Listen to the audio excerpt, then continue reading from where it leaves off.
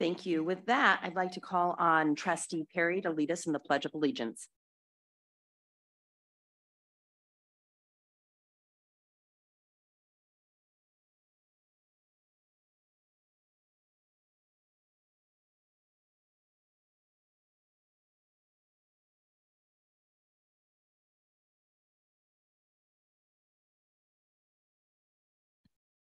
Great, thank you so much. Um, is there any discussion on the order of the agenda this morning, board members?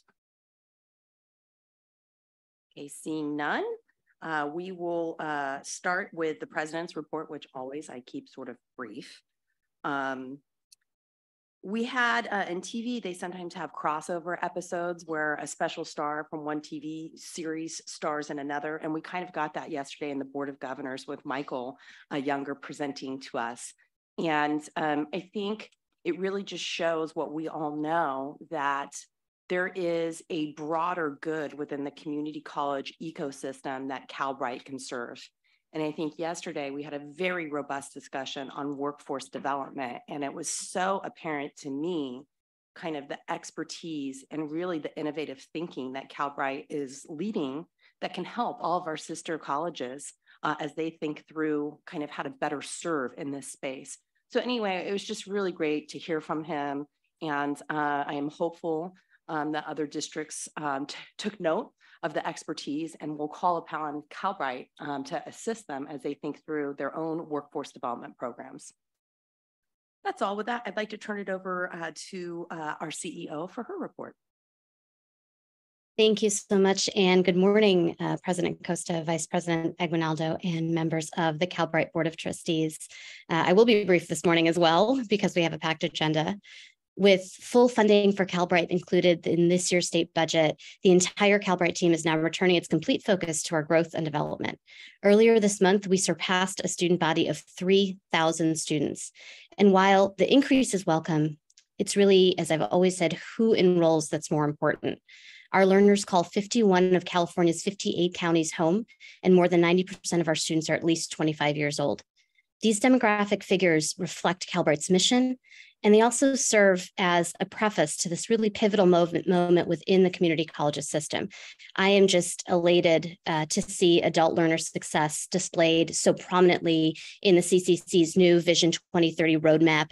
And I know that Calbright is well positioned to advance this vision, as well as Chancellor Christian's priorities when the vision framework calls for a focus on students with dependents, working adults, low income students, it's calling for a focus on Calbright student body.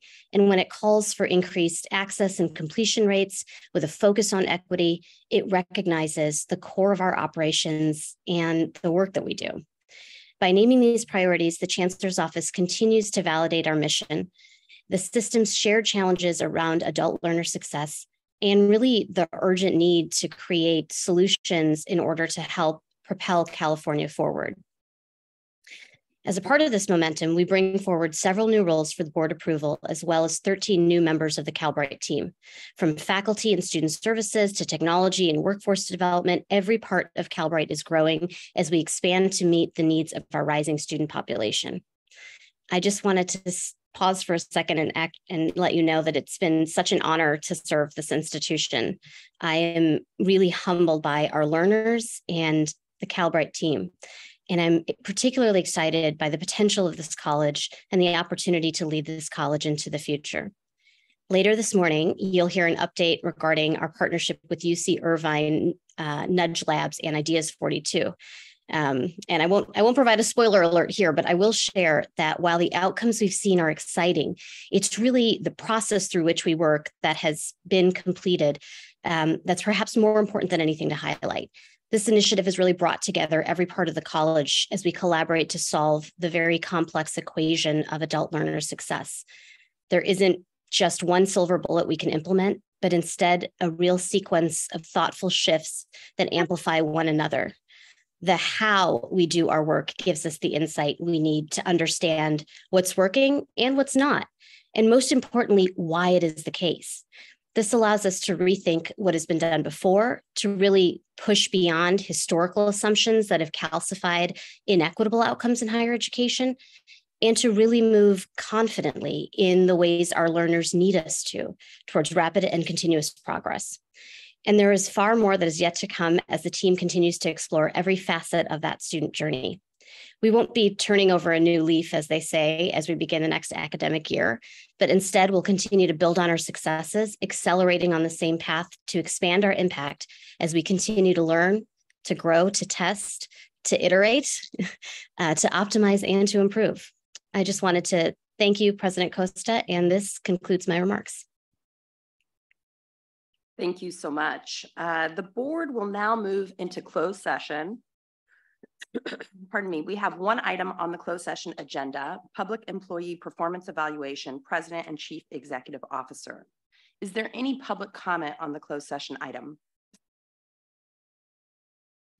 There is no public comment. Thank you. Uh, with that, uh, we are uh, estimating somewhere between 60 and 90 minutes for this item, and we will reconvene at that time. Thank you.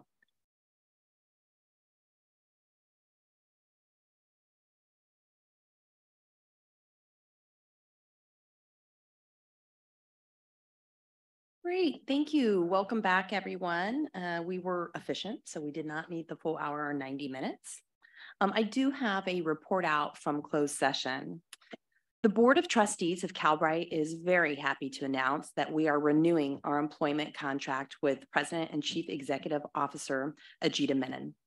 President Menon has served as Calbright's president since August 1st of 2020. Her current employment contract was for a three-year term with an end date of July 31st, 2023. The board is pleased with President Menon's leadership and service and is excited to retain Ajita as our president so that she can continue to build upon Calbright's current achievements and provide stable leadership during the next three years of Calbright. The Board of Trustees will now vote on a new agreement with President Menon. Under California law, as the board president, I am obligated to verbally announce all the salary and benefit provisions of the agreement. Once I announce the monetary provisions of the agreement, we will have a board discussion and public comment on the item. Then we will vote. The terms of the new employment agreement with President Menon include a three-year term beginning on August 1st, 2023, with a base salary of $363,582.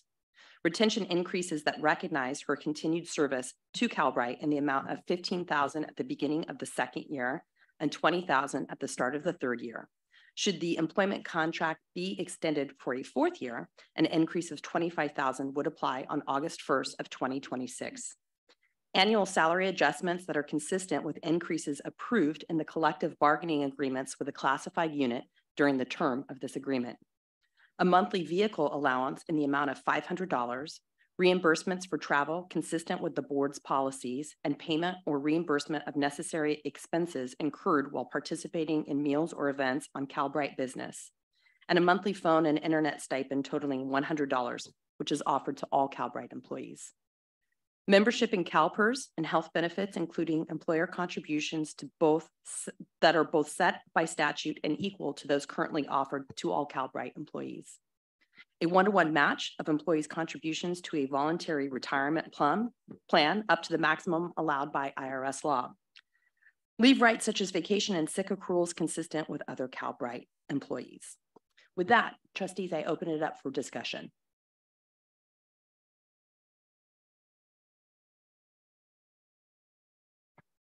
I move approval. I second it. Okay, we have Haynes with a motion and Anderson with the second.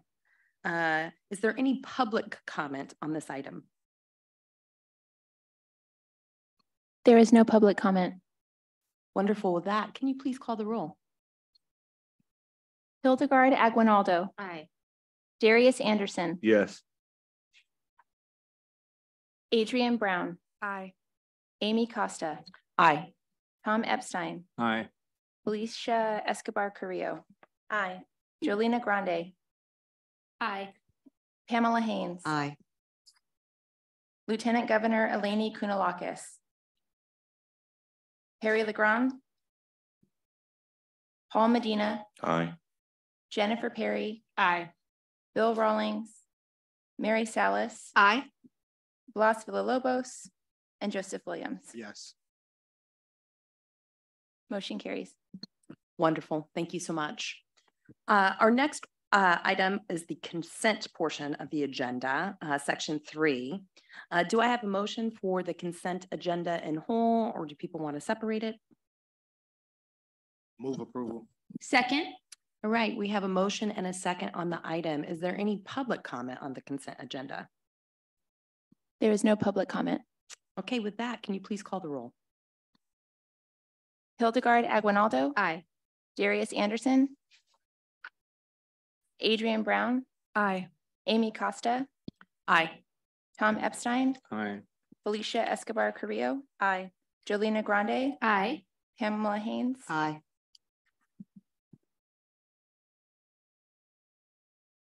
Paul Medina. Aye. Jennifer Perry. Aye. Mary Salas. Aye. Joseph Williams. Yes. Motion carries. Great, thank you. Next, we'll move on to the action section uh, of our agenda. And first up, we have item four point two, agreement with temporary technology staffing providers.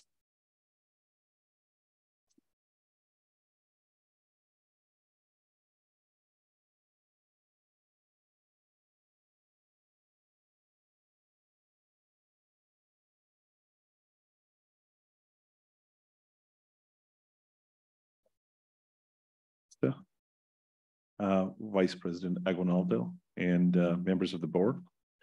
I'm here to request your approval on five agreements with uh, temporary technology staffing providers who have been selected through a procurement, a competitive procurement process, RFP 23-003, to provide on-demand temporary staffing personnel for the Calbright technology team for up to $575,000 per fiscal year for an initial term of one year with an option to renew for up to four additional one-year terms.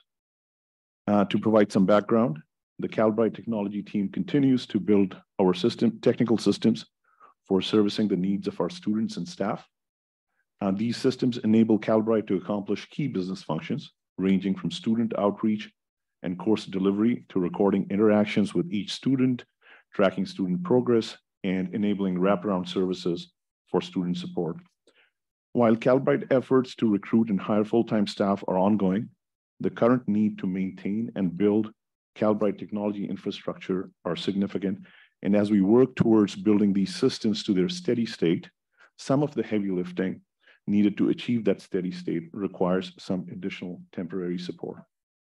Uh, therefore, on May 1st, 2023, Calbright issued an RFP 23-003 for temporary technology staffing services. We received 33 proposals, of which 17 passed the minimum qualifications screening conducted by Calbright Procurement using the criteria set forth in the RFP. The RFP evaluation committee then scored these proposals using criteria such as company profile, expertise and qualifications, proposed staffing and implementation um, approach, cost, and their attempt to hire conversion policy. The top scoring five firms were then selected through this process to be added to the roster, and client reference checks were conducted on all. With the board's approval of these agreements, Calbright will have a roster of vetted providers from which Calbright can procure temporary resources with specialized expertise whenever needed. Working with these providers will help achieve time and cost efficiency in building out a technology platform allowing us to adapt and scale with the evolving needs of our programs, our staff, and students during this startup phase. Staff requests that the board approve a cumulative expenditure of $575,000 per fiscal year under these agreements in order to have the ability to procure services as needed with an option to renew the agreements for up to four additional one-year terms. Trustee Anderson? I, I had a question because you talked about ongoing, trying to find the right people to come on board. If so, then why are we going ahead and giving four one-year terms? Do you Uh, think, uh, I mean, ultimately, will we have our own staff in-house or are we going to continue to outsource these type of services? Absolutely. So we are, uh, right now, we are building out the foundational technology platforms. And we are continuing to hire, um, making attempts to hire people uh, for full-time roles. So, but these uh, needs tend to be, um, they come up when any new system that we plan for, uh, and we need some specialized skills around that, which tend to be of a short-term nature, you know, projects for scope of services. So that's one. And then we anticipate that it will gradually go down uh, also as we get to a more steady state. So, but we just uh, have this, um, we want this mechanism so that we're able to bring on people as and when needed for these short-term services. Trustee Epstein? Yeah, it, um, I just wonder why five separate contracts? It seems like an enormous administrative burden. You've got to, you know, orient each of these mm. companies to what we're doing. I mean, what's the point of having so many different uh, contractors? So, um, you know, the idea is that when we spread our solicitations around on, on a larger vendor pool, um, we benefit in terms of the quality of the service because it creates the condition for a, for a healthy competition amongst these providers. So both in terms of the cost, you know, they'll provide better competitive cost structure as well as quality of services. It's a, the vendor pool idea is typically used by public agencies to, um, to for, for just that purpose, to get better quality and better cost. And then we can, we create um, a vendor pool of five, so it's not too onerous to, um, you know, if it goes beyond that, then it can be a little bit, like you're saying, burdensome. However, our contract is pretty much the language, except for a, uh, a single clause around the temp to hire conversion policy is pretty much standard with all of these. Um, I'm going to confess. I know can I, can I add one thing? Uh, sorry, I just, sure. just wanted to add one small thing, which is um, because the the pool exists does not mean we need to exercise options across all of the vendors either equally or all at once or ever. And so it gives us the ability to retain the flexibility to access whatever specialized uh, you know skills talent needs that we have in the short term. Um, but it doesn't keep us beholden to a single vendor um, so by doing this upfront in an RFP process like this, we are able to, to maintain a pool like that. If you if you recall, we, we did something similar in the space of legal services. Um, so for some of these specialized services where we're looking for um, specific things and want to have the flexibility to go to different vendors to access that, it allows us to have that flexibility without requiring us to um, to pursue it through just a single vendor or to retrace our steps and have to do it all over again in ways that are uh, inefficient. Well, I'm going to confess, I know absolutely nothing about technology. So, um, but it just it just does seem odd to me that you wouldn't get a better price if you concentrated it all on one vendor, and and that you know that vendor would become more of an expert in our system just using one or even two. But I will trust you. I, will say I've really encouraged the staff to use this pool. It's very common in local government um, because your RFP process is so long. Um, and the other thing is it does provide operational flexibility in these core areas where if one vendor doesn't have the time or the personnel, you have another choice and there's no break in service.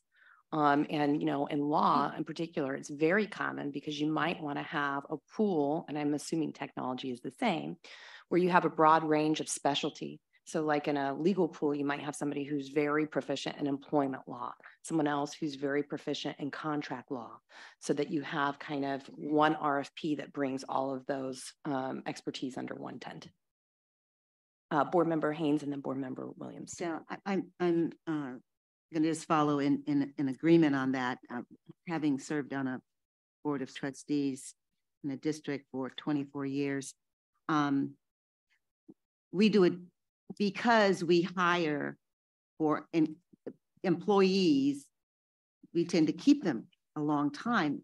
It changes. And, and one would expect that one would keep up with the training. That becomes an overall issue, but especially around technology the challenge is that that is changing and the requirements of the state, the requirements of the industry, i.e. education is changing quickly as well.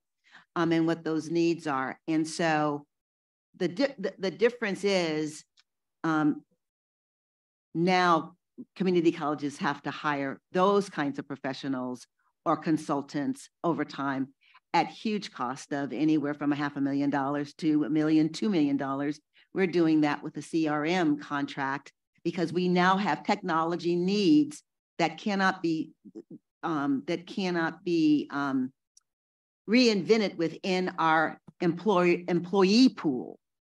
And so, and that's going to ultimately be a five-year contract that's $2 million. So um,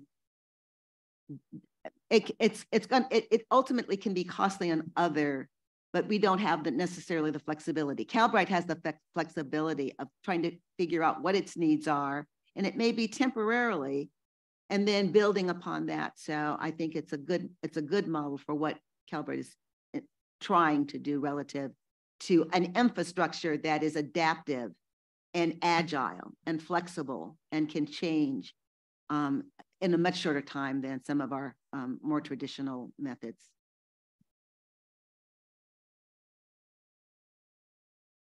Um, my, my question is just a little bit different. I'm still going to claim to be the new guy. I'm still fairly new, and um, you know, we approve contracts and you know hear the conversation for me, it would really be helpful to just experience some of the technology to see what the students see. Because um, it's a bit different than other colleges. You can walk into a classroom and I still haven't experienced Calbright yet. And so it will help contextualize some of the uh, business decisions that we're making. If I could have a way to interface with all of the technology that we are hearing about in the meetings. And so like want to interact with it in some type of way. So if there was a way that we could arrange that we could actually experience the college, it would help me a lot, especially when I have to vote on a five hundred thousand dollar item. Then you know I can put it in context. Um, absolutely. So we, we're building a lot of these systems right now. So we have a delivery mechanism uh, for the students with a through a student portal, for example. Um, where they access all of their learnings and added services.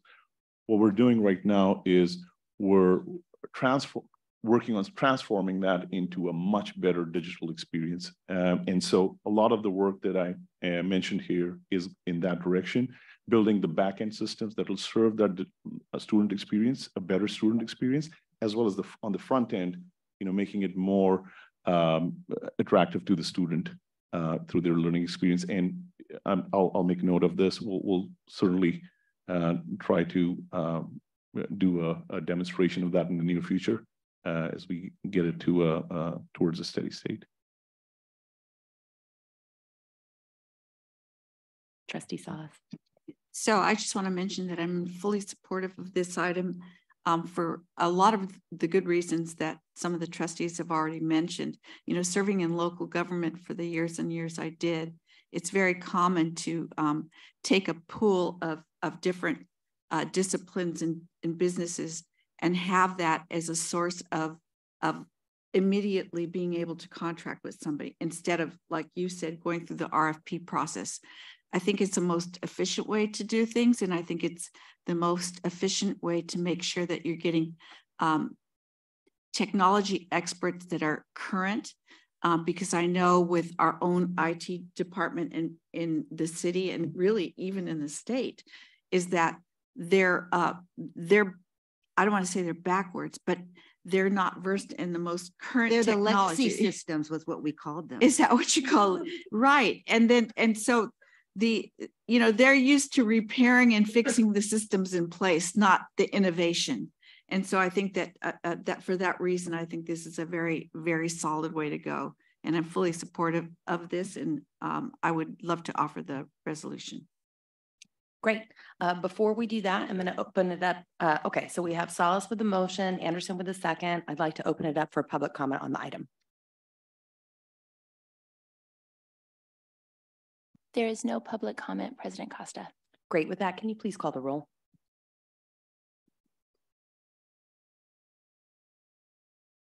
Hildegard Aguinaldo. Aye. Darius Anderson. Adrian Brown. Aye. Amy Costa. Aye. Tom Epstein. Aye. Felicia Escobar Carrillo. Aye. Jolina Grande. Aye. Lieutenant Governor Eleni Kounalakis. Aye. Paul Medina. Aye. Jennifer Perry. Aye. Mary Salas. Aye. Pamela Haynes. Aye. And Joseph Williams. Aye. Motion carries, President Costa. Thank you. With that, colleagues, I'd like to backtrack slightly and go back to our first item coming out of closed session, item 4.1. I'd like the liaison to open the roll for members who weren't present to add on to the vote. Thank you, President Costa. I'd like to offer an aye vote on the last item. So recorded. Thank you so much, Lieutenant Governor. Next up on the action agenda item, we have item uh, 4.3, um, which is a presentation on the executive committee meeting dates for 2024.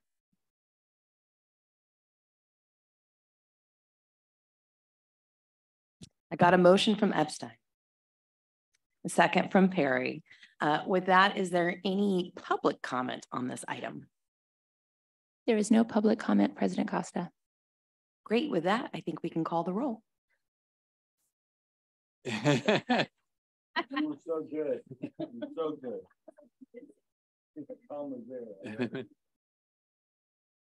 Hildegard Aguinaldo. Aye. Darius Anderson. Yes. Adrian Brown. Aye. Amy Costa. Aye. Tom Epstein. Aye. Felicia Escobar Carrillo. Aye. Jolina Grande. Aye. Pamela Haynes. Aye. Lieutenant Governor Eleni Kounalakis. Aye. Paul Medina. Aye. Jennifer Perry. Aye. Mary Salas. Aye. And Joseph Williams. Aye. Motion carries, President Costa. Great. Thanks. We will in, invite Carmen back up for our next uh, information report item, uh, 5.1, uh, which is a uh, update on the 2024-27 strategic vision.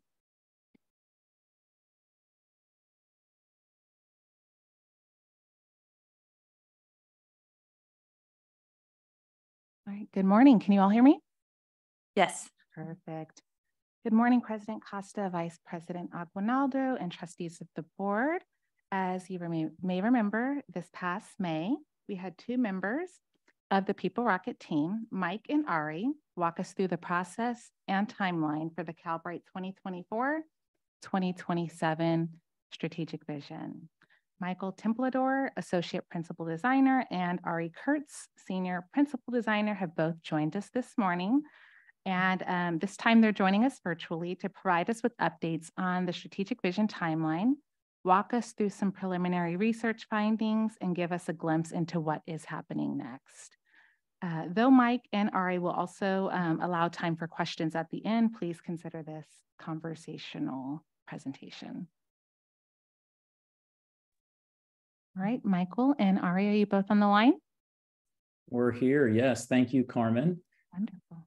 And President Costa, Vice President Aguinaldo, members of the Board of Trustees, it's a pleasure to be here with you today uh, to update you on progress on the next Calbright strategic vision. Uh, we have been working closely with the core team, which is a small group made mostly of executive team members, uh, with the executive team itself, uh, with staff, with many of you, and with uh, stakeholders. And we are delighted uh, to date with the engagement, uh, the enthusiasm we've seen for the project, the interactions we've had, and the progress we have made. So if we can jump to the next slide, please. Uh, what you see here uh, is a high-level overview uh, of the timeline for the project. Um, and what you see here, it shows that the project is linear, uh, or it, it, sort of uh, makes it feel linear, but in reality, what we have is something of a spiral and cyclical project. So we may, for example, uh, do some uh, research, which you see on the left-hand side, and then reflections on some of the insights from the research and realize we need to go back and do more research, jump around a bit from phase to phase. But in all, you see the progress we're trying to make across the board on the project. Um, we are right now in the stage of uh, reimagining the future. So we've come a little bit farther than what you see uh, on the slide. The red indicates where we are right now. Um, we are working with uh, the team and have had and continue to have workshops and are brainstorming and ideating what that future could look like. Uh, and just for a little bit of clarity, where you see the envisioning the future stage, that's where we think about all the possibilities uh, that Calbright College could have. Reimagining, which is just above it on the right, is getting a little bit more tactical and concrete, and that's where we are now. Um, and we're going to walk you through uh, what's happened to date and some of the progress that we've made. Uh, and once we're done with that, we'll talk also a little bit about what's still left to do. So I'm going to turn it over to Michael to present the highlights of the engagement so far. And if we could go to the next slide, please. Thank you, Ari. So um, I'm going to provide you some research updates and People Rocket uses a mixed methods approach. So we talk to people, we um, observe, we survey, we look through the landscape, landscape. And so um, I'm going to just provide some, some highlights of kind of what we learned so far. So we go to the next slide. So um, one of the first things, tactics we employed was stakeholder interviews. Um, so we conducted about 12 stakeholder qualitative interviews uh, with state agencies, philanthropic organizations, receiving partners. And a lot of these questions really are about exploring their views, experiences, beliefs, and motivations, and all kind of trying to get under like, what are the strengths, opportunities, and threats for Calbright? And here are just some highlights and overview of kind of what we found so far. So if you want to go to the next slide. So if you look at the orange bubble, I'm not going to read these all to you word for word, um, and I know you have them in front of you if you if you'd like to indulge yourself. But one of the major things we heard is just around um, Calbright moving in the right direction, building momentum in the in the right uh, in the right direction, and just starting to think about how you can consistently uh, engage with potential funders and maintain a strong presence uh, in their radar. I think uh, some other things we kind of heard was just like some of the challenges of navigating the scrutiny and slow nature of, of change in this in the public systems, along with lots of bureaucracy and complexity that kind of impedes with project uh, with progress.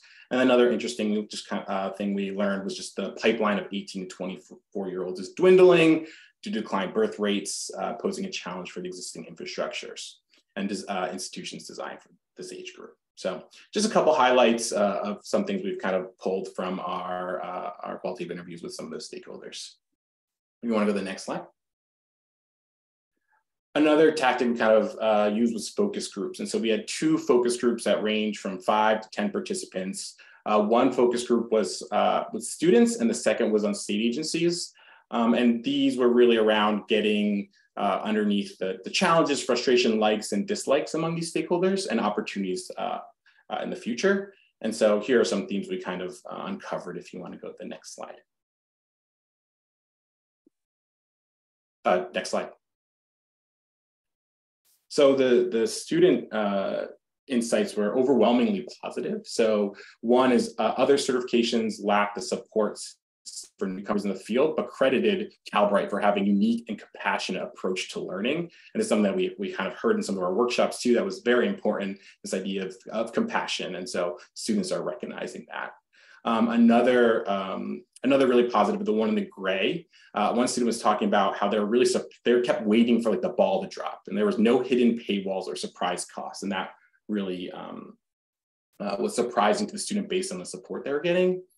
Um, and then finally, the orange quote is just kind of acknowledging that certification is kind of only part of the battle towards employment and how much uh, persistence and significant investment of time to navigate the job search processes. Uh, and that alone feels like a full-time job in itself. So uh, students still have that their eye on that prize for, for employment. Um, and so uh, that's something that still remains to be top of mind for them. Go to the next slide. And then we've also conducted a landscape analysis where we analyzed over 10 sources. We looked at the strategic vision, media sources, uh, board of trustee sessions, program offers, offerings, et cetera. Um, and this is really trying to get understanding of like, what are you currently offering and where might there be opportunities um, and challenges to inform strategic decision-making.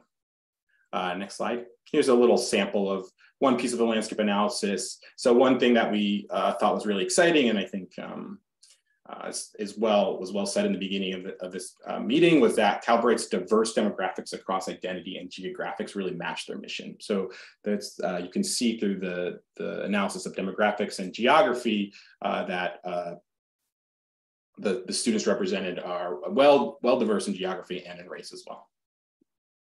Next slide. And finally, we are condition, conducting one external survey uh, with stakeholder uh, with state agencies, SHRM, CBOs, and receiving partners. and just trying to get the opinions and attitudes of key target populations. Uh, we're still very much uh, in the process of getting uh, additional responses for that survey um, as well. So uh, next slide.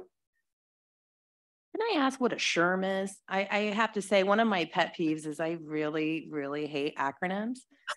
Um, Yep, SHRM is uh, HR resource is a state. Uh, it's a I forgot what the S stands Society for. Human Resources The Management. Society for Human Resource Management. Go you. for it, Carmen. Sorry, I didn't hear you. Society for Human Resource Management. Great. Any other questions about the research before I dive into more updates? Great. So um, in our process, we use something we call co-design workshops. And co-design workshops are interactive, engaging um, co-design sessions. We're really designing with uh, the participants in those uh, meetings. And so uh, actually a couple board of trustee uh, members participated one. Um, additionally, we had one with uh, the Just Be Collaborative. uh, and then we've also had one with the executive team as well. Um, and they're highly collaborative and they're really about, um, uh, we're really designing opportunities for us to get creative and reimagine what Calbright can look like in the future. Uh, so uh, next slide. The first, uh, the first workshop was with the executive team and we actually co-designed a business model canvas in various different ways. But the real outcomes of this activity is kind of check on the alignment. Um, is the value proposition matching the way that uh, the executive team identifies their value proposition, gain insights into Calbright's business practices and strategies, and then spark innovative thinking. Uh, next slide. And here are kind of some of the things that we kind of learned uh, through, uh, through, through these activities. So first, we need to, uh, the first bullet is we need to make it clear that Calbright creates value for both the supply and demand side of the labor market. The second bullet is we need to define Calbright's role in servicing multiple market segments. Third bullet is Calbright will likely need to identify new revenue streams. Uh, the fourth bullet is Calbright is well positioned to use technology to continue supporting students. And the last bullet is Calbright recognizes the need in the next strategic vision to articulate its operational goals and priorities. If you want to go to the next slide. Uh, so insights from that workshop will kind of feed into this kind of graph. And so this was really setting the foundation for goals, priorities, and strategies to really use in the co-design, in the design of our next workshops. And so we use a lot of these insights to kind of frame up where we were going next. Uh, next slide. Great. So kind of looking back and moving forward, I have a couple more updates for you all. Uh, next slide. So what we've kind of done so far, so uh, in April through June, we've um, really dove into our research and we're still conducting some research and talking to people as well. Uh, but uh, we've uh, talked to a lot of stakeholders, conducted landscape analysis, focus group and survey analysis. Since the uh, business model canvas workshop, our workshop one, we've conducted two additional workshops. One, as I said, with the Just Be Collaborative and one with the executive uh, committee on the board of trustees. And we've really started drafting out potential goals um, and areas of focus for the next three to four years. And then we've been meeting weekly with the core team, which is the state of, which is a, a collaborative of both People Rocket team members and Calbright team members to really make critical decisions, continue to help this community engagement and give uh, the People Rocket team the feedback needed to kind of move the strategic vision forward. Next slide. Uh, what's next? Uh, so we have one more additional co-design workshop with the executive team where we're going to get additional feedback on priorities and goals, as well as starting to begin to draft um, and create brainstorm some strategies. Um, our research synthesis, um, People Rocket is going to complete and submit a research synthesis, which will be in a SWOT format, and then our strategic vision draft, which is a draft vision, which will include a draft strategy map, which uh, will have uh, vision, our mission, principles, goals, and strategies, along with an executive summary. And, and SWOT being strengths, weaknesses, opportunities, and threats. Great. And that is it for us. If you have questions, I'm happy to hear some. Great. Uh, Trustee Perry. Thank you for this. And um, AI is a topic that we discussed a lot yesterday, obviously incorporated into the 2030 vision and goals. I'm wondering the degree to which that issue came up as you were doing this work. I would expect the impact to be very different given the specificity, high degree of specificity and more sort of linear track that we're on, but I assume it's a factor. And I just wonder if, are you talking to uh, some of the partners and others um, about the impact as you look at this? That's a that's a great question. I think we've touched the kind of the tip of the iceberg there. And in our business model canvas, one of the activities we we presented was what if AI kind of takes over and takes the landscape over a little bit. And I think the Calbright team really identified that is actually a tremendous opportunity for them, and they felt uh, well positioned to kind of answer that. But I'll, I'll also let Ajita kind of step into if she has thoughts there.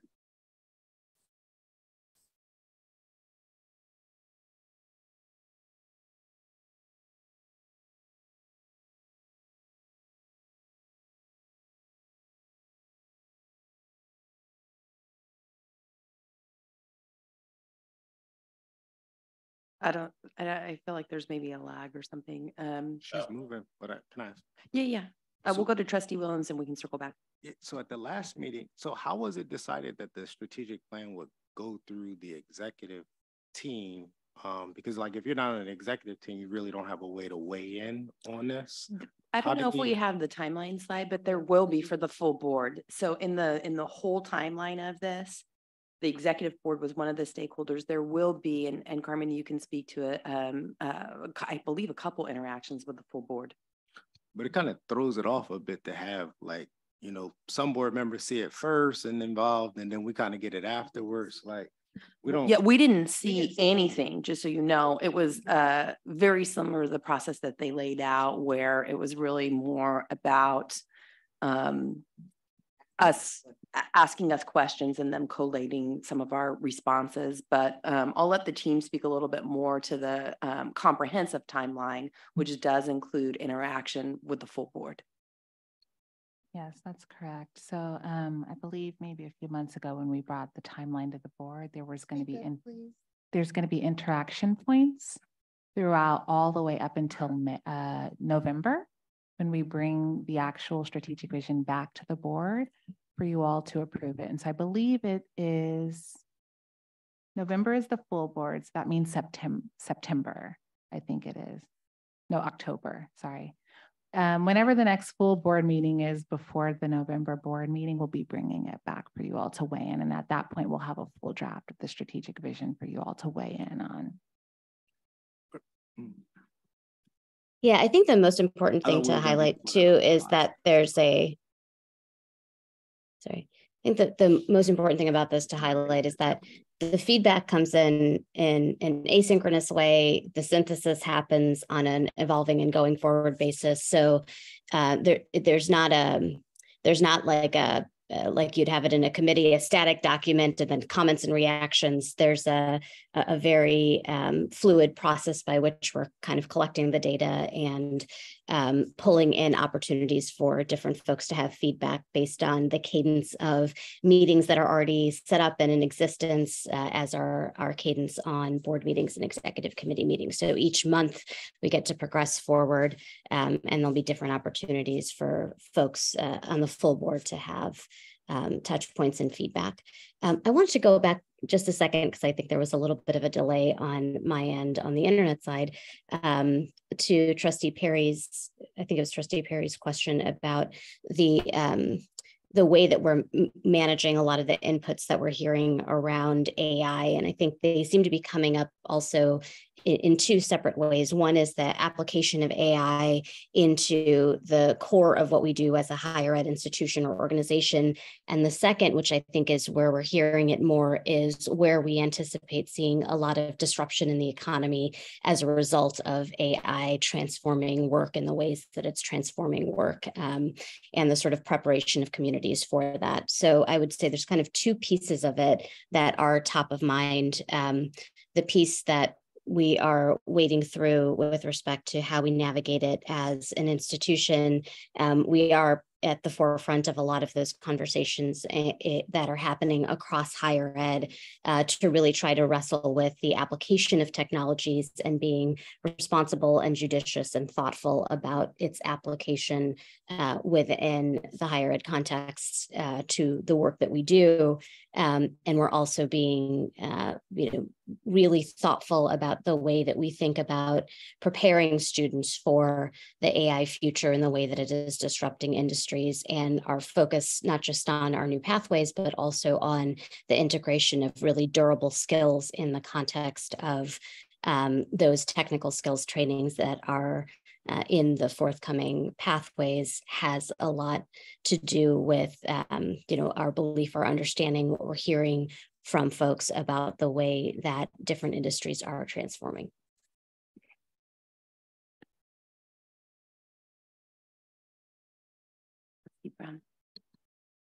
So um, I, of course, really noticed slide seven, which has the student feedback. Um, I think it's great. It looks like there's a really strong onboarding happening, um, a, a, welcoming environment, a lot of connection based on the, the quotes I see here about um, feeling like it was a really welcoming, diverse community, um, feeling like there was no hidden paywalls or surprise costs, those things. But the third quote gave me pause. Um, I'm a career counselor. So, reading this quote where it says, um, I can't afford the luxury of being selective about job positions, challenges in securing interviews despite applying to numerous opportunities. I have a lot of questions about the career services support that and the and the other end, the job development end of, of this journey, which is really um, critical in, in this unique type of, of college experience. Um, and my first instincts, something I tell students is that uh, looking for a job is sort of like dating. You don't go out and say, Hey, everybody here, I'm single. Any of you, any of you I'm willing to date, will you date me? That's not enticing. That's that's desperate. Mm-hmm. So actually the approach should be more niche, should be more targeted to what are you truly actually do you, is it true that you really don't have that luxury or are you just so you really really want a job that that's not a bad thing. So I just I'm curious about the career services and support and mindset. Mm-hmm. Um and just what what's currently in place and then what are the plans for the future in terms of supporting that that exit point. Mm-hmm. I think what we're kind of exploring right now with the strategic vision is kind of like what does holistic support for the students really look like? And that means what happens in the program and after the program. And I think that is trying to get at kind of that pain point around that career, like that career focus and that pressure for, for, for getting that job. And so one of the one of the goals we're kind of thinking about is what is that holistic support and how can Calbright be a part of that both while that student is at Calbright and what does it mean for that student after Calbright? One of the uh, important uh, things I think to know about our process also is that we share a lot of unfinished work. We we are very clear about where we are midstream and mid process, and right now uh, those insights that you see are they are that they are insights that we've uncovered uh, through our research that we know we need to act upon, but we may not have yet fully developed solutions or the the, the team together, not just People Rocket, but all of us. Uh, and so um, that's also where this iterative process comes in. You know, we've identified an issue. Do we need to do now go back to the research phase and do a little bit more research to uncover this? Do we move into a brainstorming phase to try to think about what the potential solutions are and then identify uh, how that might play out into the future? So it, it is a process, and I think that what you've what you're seeing here is a really important and key part of that process where we identify issues and we don't yet fully have solutions for them, but we're working on that now. Trustee Haynes. So um, I'll ask my question first and then and then I'll make an observation. So um, I know that um, the board, Board of Trustees gets um, data from Calbright that um, identifies it by region the number of job openings in a particular field that is that we have linked to the the the um, courses that we're offering, the programs that we're offering, the cert certificates that we're offering. Um, and so I'll, I'll put my question now. Do our, do our um, students who are in these programs have access to that kind of information as they're making their decisions, or at least while they're in the program to know? Because for me, as a, as a trustee, um, that would be key. And I don't know that any community college does it as well as Calbright relative to um, we have a, we have two or three programs, four programs in which there are tens of thousands of jobs in a region. And when you look at the community colleges that are offering that program, It's either one or none. So, so for me, that would be some reassurance if I'm a if I'm a mother with children and I gotta I, I gotta have a job. And this sounds like it's going to be a really good one because because when I go out, it's industry specific. I can figure out what that looks like. I can um, then say, all right, there may be a whole lot of candidates, but I'm one of them. Um, so it, I think that's that's the piece that um, can be missing that because jobs are indeed um, we would like to have you know a career center where there's we point you to a job. But but if we're providing that information ahead of time in a way that they can be making their decisions on that salary um, is there is it does it have a, a I'll call it a ladder career ladder? And there are a whole lot of jobs out there that gives me a little more confidence in it. You can speak to it better than I. I was say, may, how does Brenda get a job, Mike? That's right. if I may, uh, Michael Younger, Vice President of Workforce Strategy and Innovation. I, I appreciate the question from both uh, Board Member Haynes as well as uh, Board Member Brown. As it relates to our programs, uh, as you all know, they are structured based on the labor market information, specifically region, statewide, across the board. And we build uh, our programs based on the emerging need. So you're absolutely right. Uh, what this process and strategic uh, visioning process is doing is identifying where gaps exist. And so we're evaluating our student journey from the very onset to the actual end. And so to your great point, building in uh, those elements that empower our students to know um, what their job opportunities are from the very beginning. And so working with uh, our incredible um, VP of uh, Learning and, and Instruction, uh, uh, Dr. McCarty, and as well as our Career Services Vice President, Don Orth, we are building that infrastructure to ensure that they're empowered. and I really appreciate that question because this process is identifying that there's still work to be done uh, but at least our eye is on the target. It truly is on the target of building this comprehensive student uh, journey uh, that allows for empowerment because that's what we're doing. The demographics that we're uh, so grateful to support, uh, they need the empowerment, the network building. They need uh, a, a, an idea, a glimpse into their future. And so that's what we're trying to create as a part of this process. I'll, I'd love to add one more thing, which is if you hear from Don's team, um, who are on the front lines of providing the services to students in particular. One of the most challenging things that is experienced is uh, building in the resiliency for folks to know and to understand you are going to get many rejections before uh, there is uh, a securing of an employment opportunity right there is there is a difficulty, a grit to this process. We want you to be prepared for it. Uh, this is what you can expect in going through the search process. Don't be discouraged. You know, giving folks an understanding of uh, and picture for what that experience is going to be um, has been a significant part of the coaching support that Career Services has often been uh, engaged in. And, and I found that to be um, really insightful as well. Uh, so as we develop the services, the, the viewpoints and the perspectives that students raise up are so important to us to know how to continue to evolve our responsiveness in the way that we're supporting learners, both through direct intervention, but also in the way that we modify our support and coaching activities. Um, so I, I, just wanted to kind of highlight a little bit of the relationship between the way that the feedback from students themselves um, is reflected in the way that the broader vision um, is oriented, is laid out, and also more more kind of transactionally uh, in the way that we see a future for modifying uh, our services on an ongoing basis to evolve with what students are actually experiencing out there in the job market. Great. Uh, any public comment on this item? President Costa, there's no public comment. All right. Thank you so much for the presentation. Appreciate it. Uh, next up on our information and report section, we have item 5.2, the Calbright College University of Irvine Partnership Update.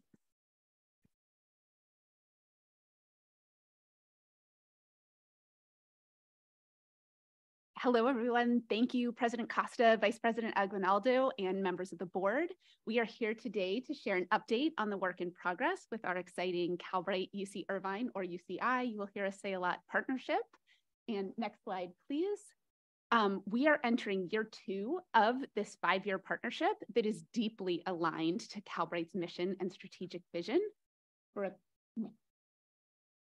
perfect. Um, for a quick moment of context, um, just since not all of us were here when we started this work, um, this is a highly collaborative, action-oriented work focused on applying data and behavioral science strategies to inform new and responsive approaches to how we support our focus population of working learners, how we design with their needs at the center, as we've been talking about throughout this meeting, and how we serve them especially well. This work puts Calbright at the forefront of innovating in this space and is designed intentionally to expand Calbright's internal capacity to rapidly design, test, and iterate. Ajita and I did not plan our talking points. They were, um, I was so appreciative of how she framed this from the very beginning and how we do that in a student-centered and equity-centered way, and how we generate and share evidence of effective approaches more broadly to improve educational and career outcomes for working adults. The Calbright and UCI teams have been working closely together since we visited with the board last November, and we are excited to be joined again here today by our leads from UCI, Professors Di Xu and Richard Arum, along with Ben Castleman from Nudge 4 Labs and UVA and Tom Tash from Ideas 42. Internally, we are so appreciative of our Calbright uh, working group and team members across the college who are so deeply engaged in this partnership. We've reached almost everyone at the college through this work in the first year through design sprints, behavioral insights labs, cross team meetings, lunch and learns, all hands, and more. And today we'll hear a bit more of the work overall at a higher level and then dive deeper into the design sprints and the timeline work, which are already having a measurable impact on student outcomes one quick note as we frame the conversation, which Ajita mentioned as well, equally as exciting as the impact of the timeline work is the process itself. I realize not everyone gets quite as excited about process improvement, but we are particularly excited about the capacity we're building internally to continue to identify and solve problems in these new ways and to regularly engage in these rapid cycles of design, prototyping, testing, iteration, and then to scale and share out what works and to learn from that and to learn from what doesn't. Um, this type of approach allows us to continually iterate and innovate, and it allows us to stay at the leading edge of the learning curve and to share replicable approaches that can have potentially much further reaching impact. This is becoming the way that we do our work and we're excited to share a bit of it with you today. And we promise to come back with more updates throughout um, the journey with this partnership. With that, if we can move to the next slide, I will hand it over to our partner, Tom Tash from Ideas 42, who will be sharing with us today. And all of our leads for the work are on the line as well. And so any, um, after we hear from Tom, any questions are welcomed in any form. Thanks so much for that great introduction, Marissa. And I also want to thank all members of the Board of Trustees for giving us a chance to come before you today and share some updates from the first year of this partnership. Uh, as Marissa just said, our goal today is really to dive deep on just one piece of that partnership and some of the early results we've seen. Uh, but before we get to that, we wanted to name a couple of those key takeaways up front. And the first is that, you know, while we're going to be zooming in on results from a, a very specific pilot test that we launched, we really view it as a, a broader proof point for the power of leveraging data and behavioral science to develop new ways to improve student outcomes, and not just as validation for the particular idea or intervention that we tested. And the second takeaway is that what we're showing today is just one building block in a really powerful process that we're building in close collaboration with Calbright to iteratively design and test student-centered, data-driven, and equity-focused solutions. Uh, next slide, please. And speaking of uh, building blocks, we wanted to acknowledge at the top that beyond what we're going to focus on today, uh, we've been busy with a lot of different activities since our presentation to the board last November. Uh, on this slide, we've called out some of the different things that the UCI, Nudge 4, and Ideas 42 teams have been carrying out across all the different strands of measurement and design work that we discussed last time. Uh, I'm going to be zooming in on just two of these bubbles, the ones that you see bolded up there, But in addition to myself, as Marissa mentioned, we've also got uh, Dr. Arum, Dr. Xu, and Dr. Castleman who are helping drive many of the other activities you see up here, and that will be returning to shed light on in future engagement with the board. Uh, today, we're particularly excited to go deep on the inner workings of the collaborative design sprints that we've been talking about since last November and running with Calbright, and also some of the rapid cycle piloting and testing that those sprints ultimately have allowed us to do. And while we're going to share some of the, the details from one of our design sprints and pilots, uh, we're again doing so less as a way of showing you that particular output or intervention, and more as a way to demonstrate the effectiveness of this new approach and the partnership more generally. Uh, but I'm getting a little ahead of myself. Uh, next slide, please. I want to start off uh, by giving you a brief orientation to the collaborative design sprints that we've been running with Calbright. Now, these are really an opportunity for us to rapidly build an agenda of testable ideas grounded in behavioral science research for student-centered ways to improve the Calbright model, working in really close collaboration with the people who are nearest to the student's experience and the student success at Calbright. Uh, that's Calbright faculty and staff. We're running four sprints in our first year of this partnership. Uh, we've already completed the first two that you see up there. I think the last session uh, for that third one is happening this week, and we're gearing up to launch the fourth one very soon. Uh, today, we're going to sort of double click on that first sprint we ran with a team of Calbright student support specialists last winter, and then share some of the outcomes. Uh, next slide, please.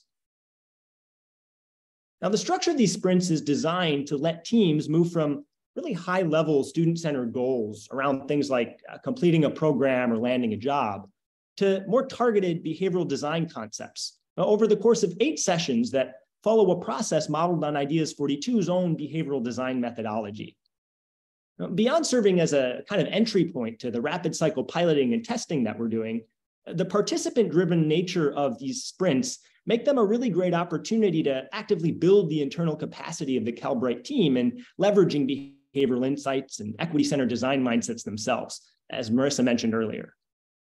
Now, by working directly alongside experts from Ideas 42 and UCI, as we first define a concrete opportunity to use behavioral design, then diagnose potential barriers or bottlenecks holding students back, and finally develop evidence-based solutions to try to overcome them, uh, we not only create innovative concepts for ways to improve persistence, completion, and workforce outcomes, but we also equip members of the Calbright team to replicate this approach on their own, well beyond the context of a, a design sprint.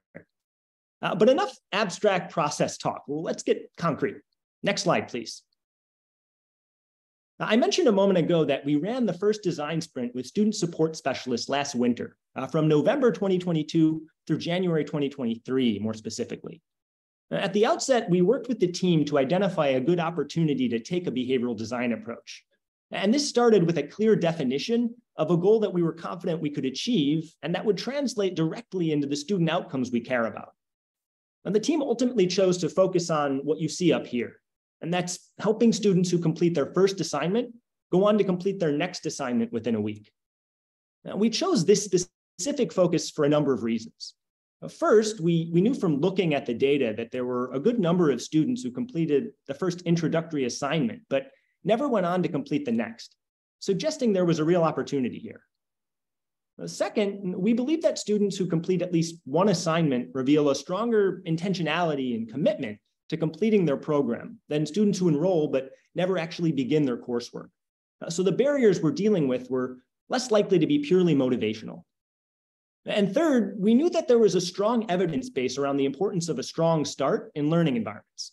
And from a behavioral science perspective, helping students make consistent progress in their first few weeks following enrollment would lay the foundation for more durable study habits that could help carry students through to completion.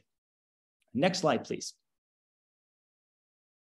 So once that focus was set, uh, the team then conducted what we call a behavioral mapping exercise to diagnose potential barriers that might hold Calbright students back from making consistent progress toward their certificate.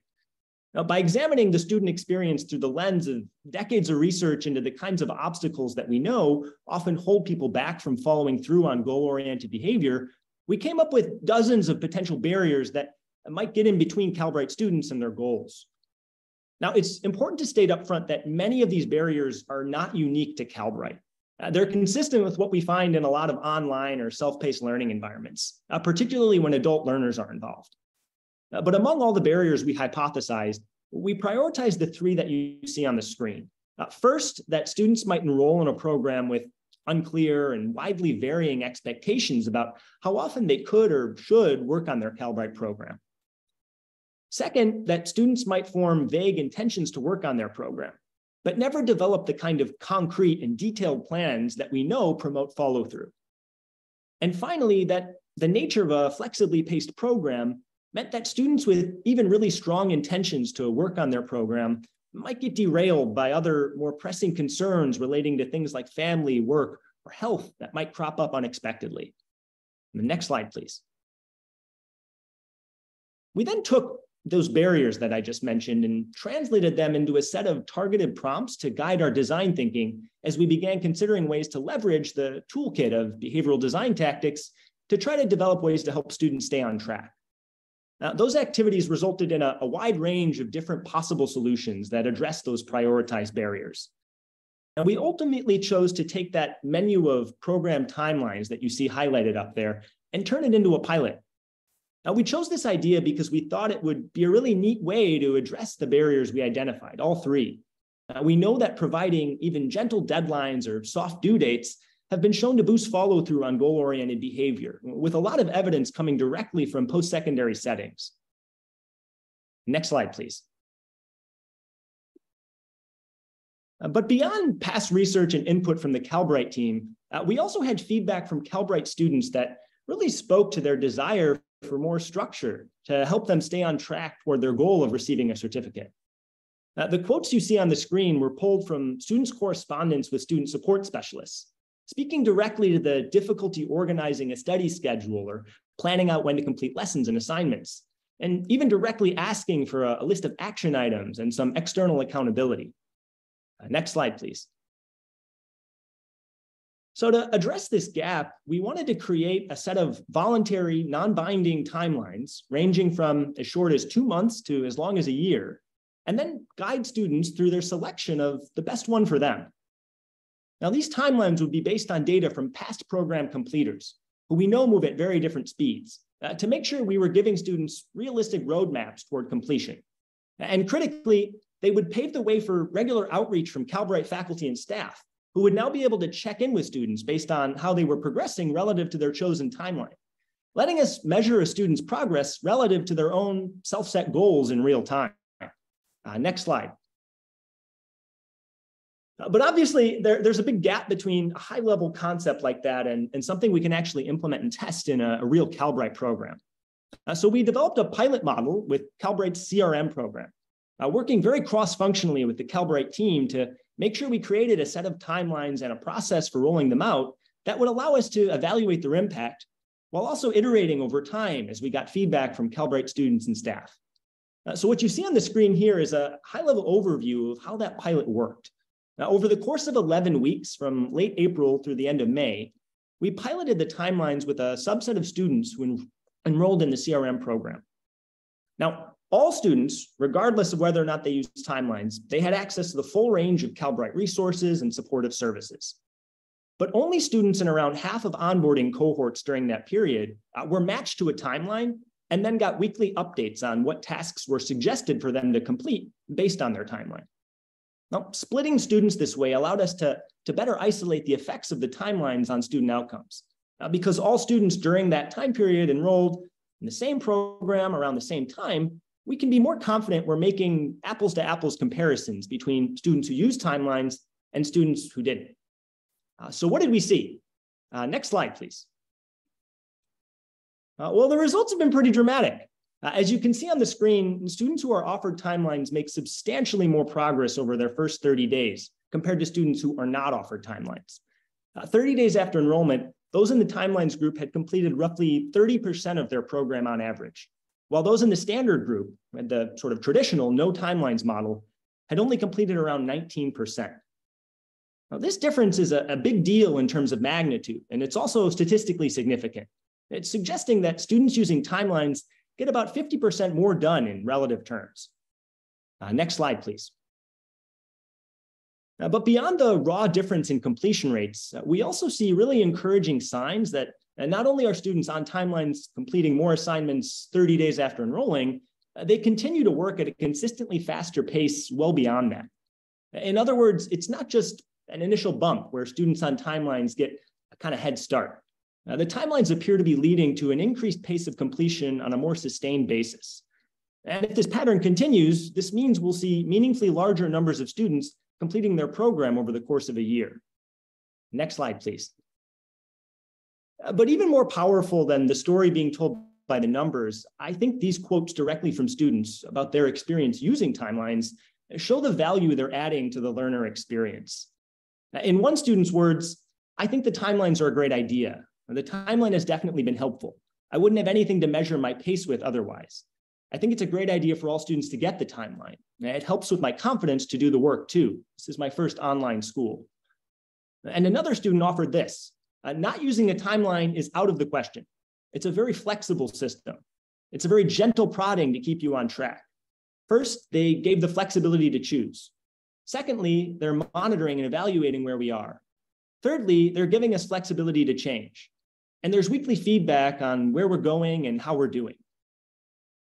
I think these kind of student testimonials add really great texture to the results that we see in the data and offer great validation for our student-centered approach to designing for student success.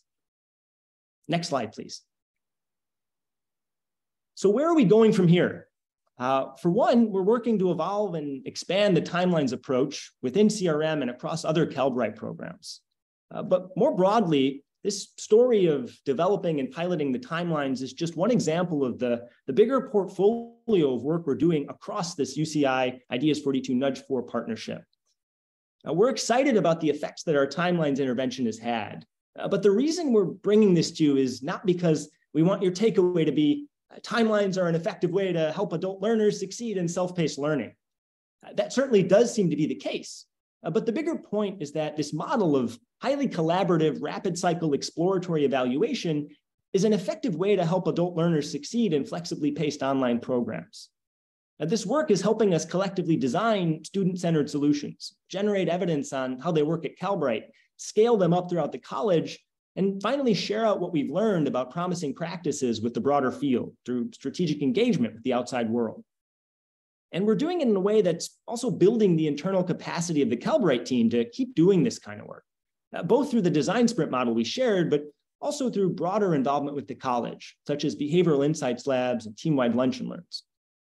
Now, we're off to a really strong start in the first year of this five-year partnership, uh, but it's still early days, and we very much look forward to returning with more updates as we continue to test new ideas and generate new insights. Uh, next slide, please. Uh, to conclude, I just want to thank you all for giving us a chance to come before you and share what we've learned in this first year of work, and more broadly for your ongoing support of this innovative partnership. And at this point, I'd love to welcome any thoughts, comments, or questions. Thank you so much. Colleagues, questions or comments on this item? Trustee Haynes. So I know you just finished telling us don't um, don't focus so much on the timelines, but I'm going to focus on the timelines. and I and I want and, and oh, hopefully what I would like, if not obviously not today, because I know that this is a ongoing. Um, I don't know what the term, but it's ongoing, and so I understand that piece. Um, but when I when I look at the demographics um, and I mentioned it yesterday at the Board of Governors meeting around Calbright. When we look at the demographics, um, it's clear that there are some populations that ex exceed their numbers statewide.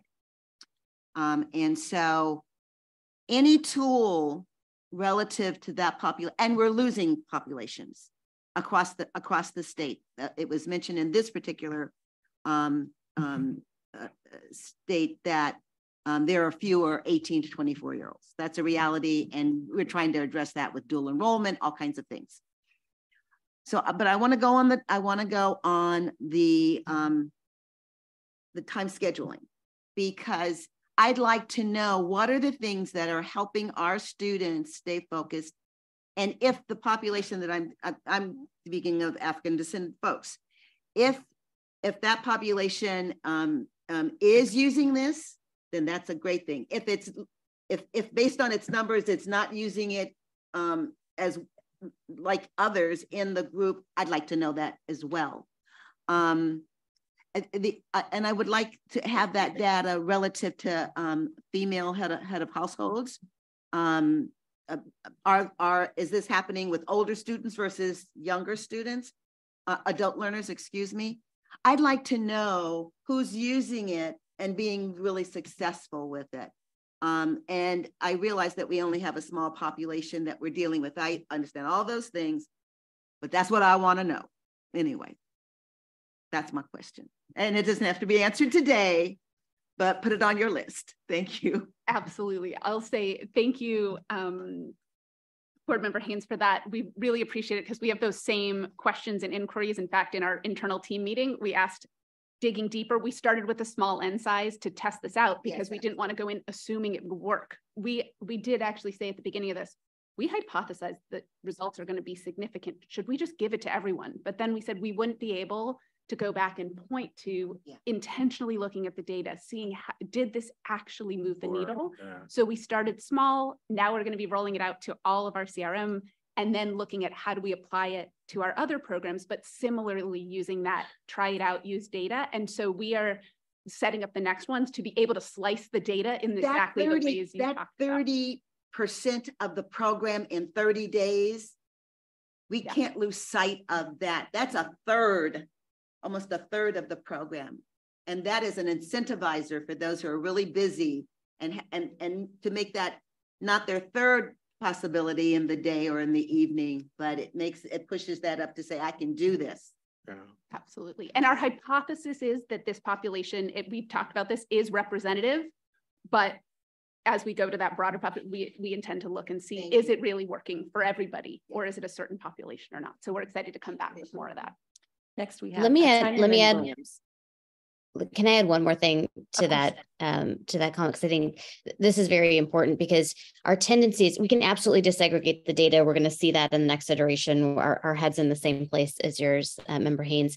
I think um, just the one thing that I, I know I, I beat like uh, I beat the drum on very regularly is how critical it is to think about how to translate what is being learned into application in other contexts. And the reason you hear us kind of emphasizing the piece around the process and the piece around being able to critically establish the right hypothesis to begin with and to test that out relative to an implementation context is because in higher ed, we focus so much on singular interventions. You know, we, we take a, a singular thing, we say the CUNY ASAP program that um, is, is highly successful, but we don't examine the pieces underneath the hood that make it so.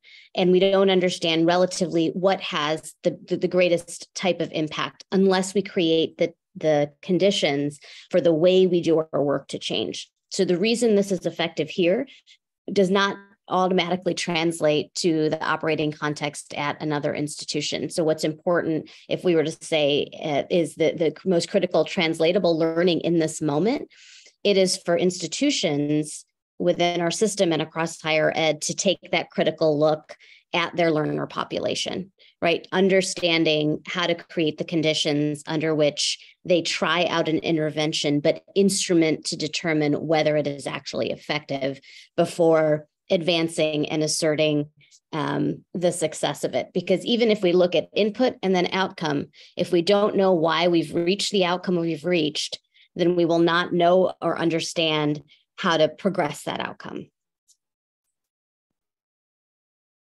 Thanks. Um, yeah, I think this is really exciting stuff. I mean, this is uh, something that's really showing an impact already. Um, and uh, you know, I was looking at the other slides, and, and two thirds of the people are choosing uh, to complete within four months too, which I think is also better than we had anticipated. I, I think that's really terrific.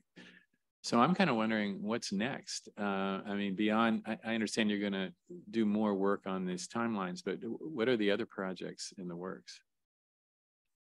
Sure, I'm happy to take that at a high level, and then Tom is here too and can talk to some of the specifics because this was our very first design sprint. We've done two others already. We started with our student support specialists, then our counselors, then our instructors. We're doing a cross-functional data one next. We have behavioral insights labs. We are working on our learning um, engagement and design work. We are working on measurement strands. So we have multiple different um, projects going within this partnership. And um, we just thought this was a good one to highlight because it's so relevant cross-functionally and because we designed it intentionally. But we have our year two launching, focusing very much on the same rapid cycle um, pilot testing iteration focused on interventions, focused on student voice, focused on data, focused on equity um, across all of the pieces of the work. And we absolutely, we are planning to come back maybe, you know, every six months or something to talk about different components. But I don't know, Ajita, it looks like, I don't know if you have something or if Tom, you want to speak to um, any of the specific ideas as well. I don't want to put the cart too far ahead of the horse here, um, but as a teaser, yeah, we're, we're, as I mentioned, you know, at the top of the set of slides, we've got a number of these design sprints, and each one surfaces a dozen or so different ideas. Uh, we're currently planning a pilot around trying to use short form video, kind of grainier, mobile friendly, more authentic uh, sounding voices from Calbright faculty and staff, which we think are an effective way both to engage students in 60 seconds or less, and also a really great way to engage faculty and staff who, you know, really like to get to actually connect with students on a much broader basis. Uh, we're looking at building on the foundation that the timelines give us, both to create greater automation, realize more efficiencies in the way we do proactive outreach to students. Uh, we're also thinking about possible peer cohorting models we can now do. We've got students in an onboarding session. We know that X of them are going to be moving at roughly the same pace that opens up a whole new world of possibility in terms of setting up real opportunities for them to connect with each other. Um, I won't rattle on forever because I, I, want to carve out space uh, for you know Dr. Arum, Dr. Xu, or Dr. Castleman to jump in, and or, or Ajita as well, who I think has a you know bigger aperture on all the different things we've been working on. Pardon me, President Costa, but Trustee Le Grande has a question. I, okay, hold on to my left. Yeah. yeah. Okay, hold on one second. We'll we'll uh, we love that you're here. Um, we'll we'll catch you after I get the comments in in room. Go ahead, board member Epstein. I was wondering if anybody was going to respond to what he just said before I talked. No. Okay. The, the other thing I was just wondering, um, it may be too early, but uh, are we sharing this information with other community colleges? Is this something that we have in, in the works? It seems to me like the lessons that you're learning could be applicable across the system. Yeah, absolutely. So we're hot off the presses today with you. So you are our first stop, but we absolutely have a plan. It's in fact built into the concept of the partnership. And we are planning to put out sort of a longer form, either press release, blog post, start small, white paper, um, and then we have talked together with all of our partners at UCI and um, Nudge Labs and Ideas 42 as well about over time. I don't want to overpromise these are these are ideas, but convenings and other ways that we can uh, conferences where we can be sharing some of this. Again, we didn't want to leapfrog too quickly from our, our um, early work, but absolutely it is 100% part of our plan. And um, possibly even next week, you'll start to see some of it coming out.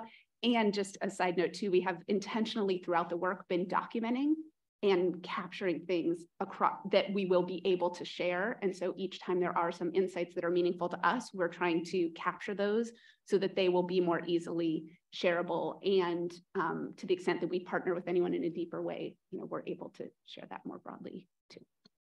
Next, we have. And I'll just add, um, just add one more thing, which is um, uh, we've also, you know, this is things that we'll regularly share out with uh, the chancellor's office and is very aligned with uh, Chancellor Christian's focus on the adult learner population. So we've also begun to engage um, more closely with other institutions who are similarly prioritizing this community of learners.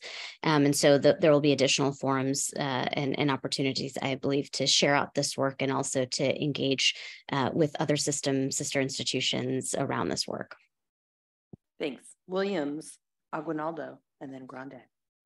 I say if they're if they're if the other institutions are not in California, sell them the information. I was just thinking about um other like especially practitioners that are involved in the completion agenda this would be really a really good like master class because we generally don't talk about throughput in this same kind of way that you displayed it.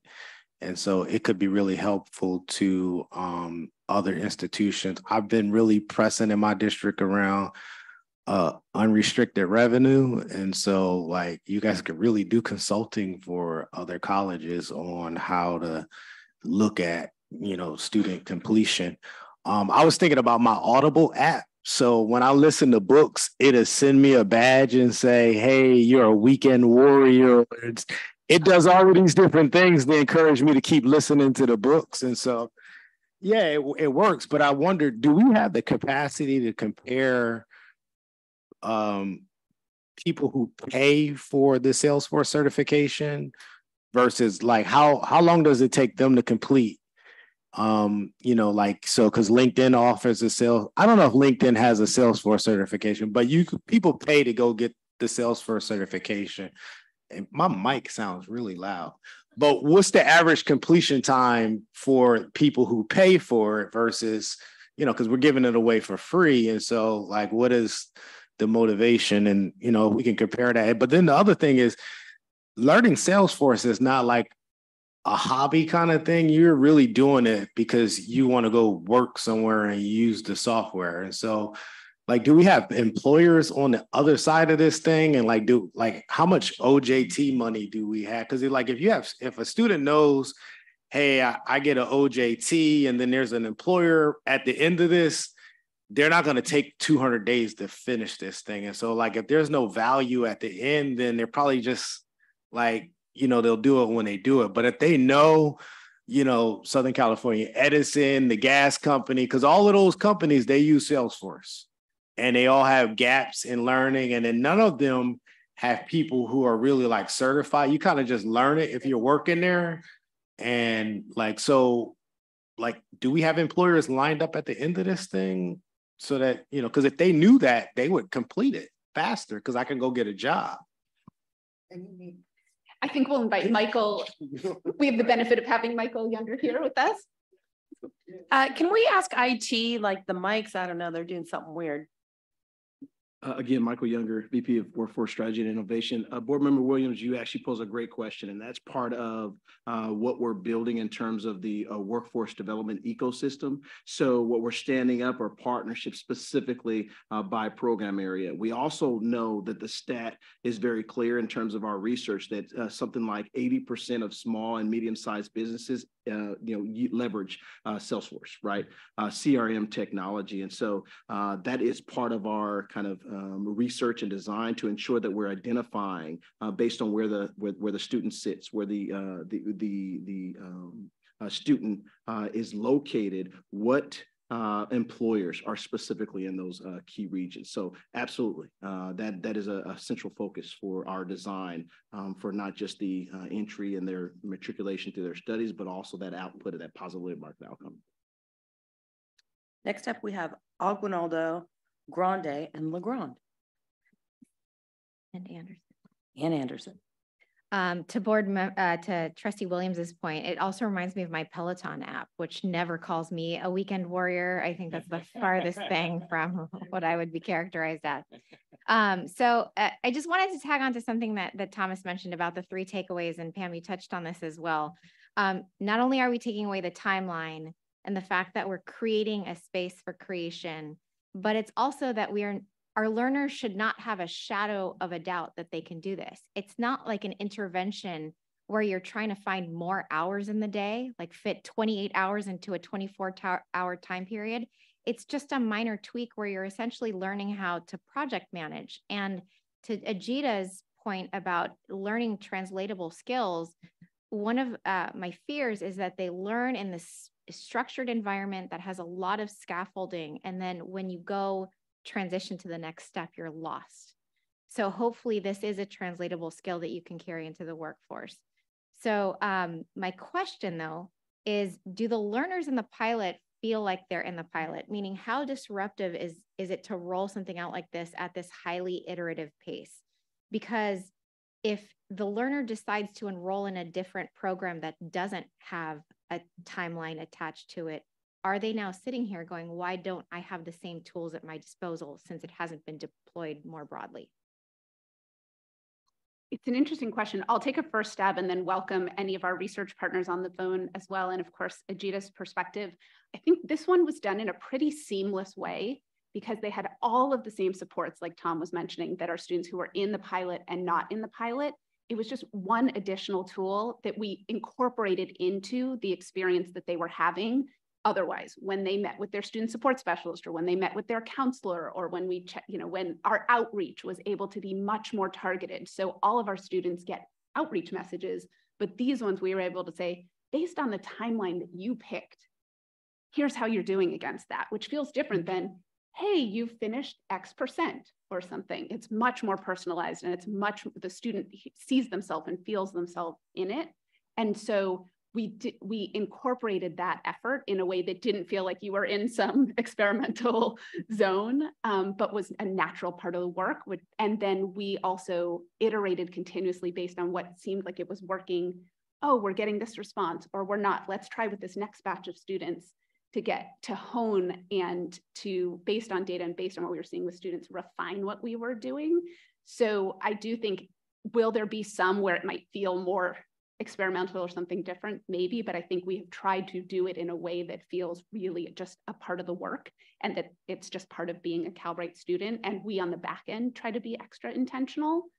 I don't know, I've looked at our numbers and we don't have that many students that are across programs in that same way. And each program is different in its own self too. They might be on a different LMS platform or they're a different length or a different skill or a different way that we interact. And so I think um, any of the supports that are relevant and do transfer across with the same impact, we would make sure are available. But I definitely don't think anyone felt like a guinea pig in any way. Um, it was just when it worked, we're able to help it work for more people. Welcome anyone else who would want to comment on that too. The only insight I would throw in is uh, pulled directly from some of the interviews we actually held with, with students who were participating in the Timelines pilot. Um, because we rolled it out at a sort of onboarding cohort level, students who were using timelines, I think, thought everyone was on a timeline. Um, and when we talked to them, many of them were actually surprised to know that timelines aren't just a standard staple of the Calbright experience. Uh, the other thing I'll say though is that uh, students, you know, I don't think they had a perception of being experimented on or anything like that. They they totally got it. We were very transparent with them. We're building Calbright. It's a new thing. We're trying to make it work. These timelines are actually a new idea. What did you think? How could we make them better? And they totally got it. Uh, and they were very open with their feedback. Uh, the final point I'll throw in is was kind of a coincidence. One of the students in the pilot had actually done another Calbright program. And so he was actually able to do the experimenter's dream sort of, of have that counterfactual. And his comparison of you know a Calbright program without timelines and with was really validating and consistent with the pattern we saw in the data um, and the direction I think Calbright's going in of trying to actually mainstream the, the timeline model or kind of similar insights and similar structure across other programs as well. Grande. Thank you, President Costa, and thank you, Marissa and team for this presentation. I have two questions, but I want to start with um, just an observation. Marissa, you had mentioned, you know, here was this group that was receiving the timelines, and you thought, well, why don't we just give it to everyone? Which eh, to me, I, I'm processing that as this is so um, non questioning we anticipate that this is something that everyone would benefit from. This is something that everyone is doing. So therefore, why eh, take a sample, just roll it out to everyone. And it also made me think of the number of times I've heard data presented on our credit bearing students when they talk about those who enroll in more units, take more units, complete more units. It's like, um, it, seems like it's unquestioning. Of course, that just makes sense.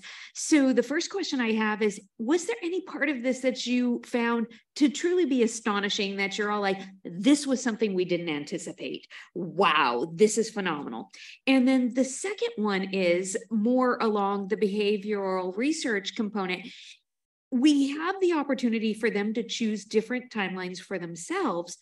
What is special or unique about student, students who shift timelines because one of the comments that was made is there's this flexibility to change. I would like to know about the students who are changing their timelines. And do they, as this group, get to see other students' timelines? Not identified as this is Marissa's timeline, but the average student takes this amount of time. This is the timeline that you've selected for yourself. Are those individuals now choosing a shorter timeline based on what the rest of the herd is doing? Those are all phenomenal questions. Tom, I may turn to you first and then piggyback on it as any, but absolutely, because I, am so kindred spirit. I'm so appreciative of the questions too. Tom, I'll let you take it first and then dive in if relevant. Totally, totally. Uh, gosh, so much to say. I think that question of, yeah, um, you know, how do we, you know, we don't want to just give students a menu of here are six timelines, pick one. And so we put a lot of thought into how do we figure out the best way to help students make the right choice for them, uh, give them the information that's relevant, but also you know help them ask the right questions along the way so that they get to the right answer. Um, and I think you know right now we've got we try to keep it lean. We don't want to put a whole bunch of you know 1,000 questions in front of students to try to ultimately get to the best timeline. Uh, but we've got a number of questions that we've iterated on with input from students, from some instructors that really get to you know, how much time do you have? What are other responsibilities you've got? Uh, what are your completion goals? Um, what's your comfort with technology? A number of factors that we found are good at sort of predicting whether or not students uh, are able to, to stick with their timeline. Uh, you also asked a really good question about switching. And I will be the first to tell you that one of our key learnings early on was we were a little too ambitious in constructing the initial set of timelines and we have we rapidly pivoted and extended them uh, we sort of reshifted we originally had students on uh, timelines as short as 60 days. I think now the shortest in crm is 90 and we've sort of reshifted everyone uh, to a longer timeline. Uh, we found that early on to the extent students were shifting they were shifting almost i think in every case to uh, a longer timeline. And so these kind of kind of learnings along the way, though, I think are, are helping us reinforce what we've done with CRM, definitely giving us directions to explore with other programs that again are going to have different structures to them, and there's going to be different data that we can leverage to try to answer some of those questions. Um, but I think in the spirit of maybe many answers today, based on the conversation I'm hearing, uh, we've got a lot of hypotheses, hypotheses, not necessarily answers yet. Um, but absolutely, a lot of thought was put into uh, structuring that, that initial timeline selection and then facilitating really smooth transfers to the extent they're needed to slower timelines, uh, adding grace periods for students who say, hey, I need to take two weeks off because of X, Y, or Z concern. Um, I'll pause there. I, I know that was a, a, whole lot of content. I hope that it addressed some of those really excellent questions. And Marissa, maybe I'll, I'll volley it over in your direction. Sure, I'll, I'll make just two additional comments to that. In terms of the wow question, I definitely think when we looked at the results, we hypothesized that this was going to be good, but when we looked at that, we all said wow for sure. Um, and I think too, the team engagement in the process. We we knew we were excited to do this. We came to you together. We all invested in this partnership and with your leadership. And but seeing the team go through it and seeing how powerfully that experience helped affect them and, and how engaged they were and how excited they were to engage with the students. Also, the data, it wasn't just numbers, right? The fact that our students were speaking to us both through their engagement with our team and through the numbers just added so much more depth that I think um, we hypothesized that we knew that we knew this these design mindsets, but seeing it in practice and seeing how it's impacting the team and how excited they are to continue to do the work in this way I think was just incredibly inspiring for some of us. Uh, for all of us probably. And then one other, I wanted to pick up on one other theme you mentioned, which is how motivating it is potentially to see what others are doing. And um, Ben, I don't know if you want to um, speak to any of that, but we have one of the national experts in um, on this topic of nudge and other things, because I know research has shown that that is a is powerful when you see how how others are doing and put it in context. And so, um, Ben, I just don't know if there's anything you want to say on that, because I do think we've thought over time how to share not just the generic, here are your choices, but here's how others are doing, here's how others like you, or here's, you know, which again resonates even more. Ben, anything to add there in terms of that point? Uh, just briefly to, to reinforce that, and, and I think to connect it back to um, something Tom referenced, I, I think a very exciting area for future work is in this realm of enhanced peer support and interaction, given the potential within Calbright for students to uh, be more individualized. We want them to be individualized. We want to support them to approach Calbright in a way that works for them and to provide opportunities for peer connection support. And it, one of the beauties of this broader partnership is that in addition to the tremendous expertise that Tom and colleagues bring, um, uh, Dr. Arum, Dr. Xu have tremendous expertise in the realm of student engagement, peer interactions, and support. And so, as excited as we are for, I think, what the team has uh, collectively achieved in year one, I think we're we're that much more excited um, for the year coming forward. And I think a central focus will be uh, in this realm of, of peer engagement support. Um, so I'll, I'll stop there.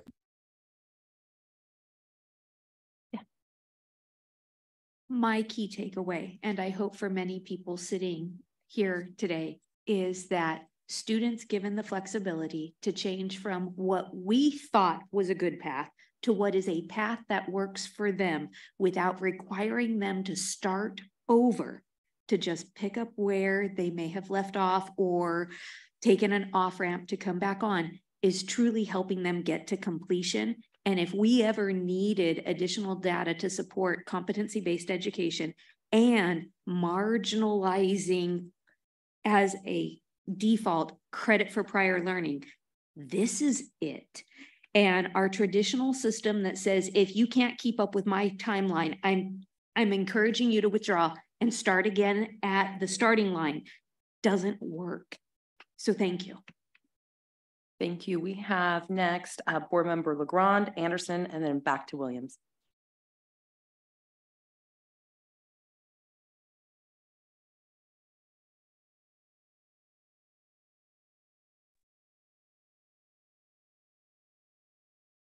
I've granted permission to speak if you'd like to address the board. Harry, are you there?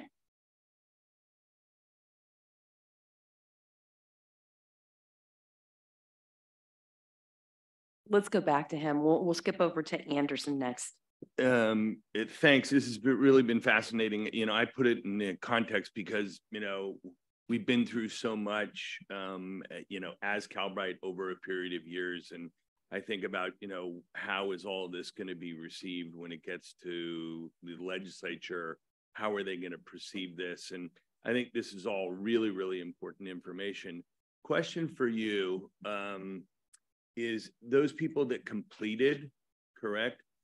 Are we tracking them after they complete? And do we know how many of them have actually received a job, received a promotion, um, used it from the standpoint of enhancing their current career environment? Give us an update on Brenda. How's Brenda doing? well, you know, I, again, Michael Younger, VP of uh, Workforce Strategy and Innovation. I am so thrilled by the questions this informed uh, uh, body uh, is asking. It really means you're deep into wanting to ensure that the students of Calbright are, are so successful. So I'm grateful for that. So we we did do a deep dive uh, into our current completion uh, base, and we did a, a, a, an audit essentially. And of the uh, individuals that we've uh, observed, uh, which are greater than 150, uh, more than half of those individuals actually are in current full-time employment. Uh, and have received a positive market outcome after they've interacted with Calbright. Now, what we're building is the infrastructure to be able to uh, spot check each and every graduate uh, to be able to understand where they've landed. As you all know, um, as we work with uh, EDD and others, um, uh, those indicators are, are lagging, right? Uh, that's naturally the case and has always been the case.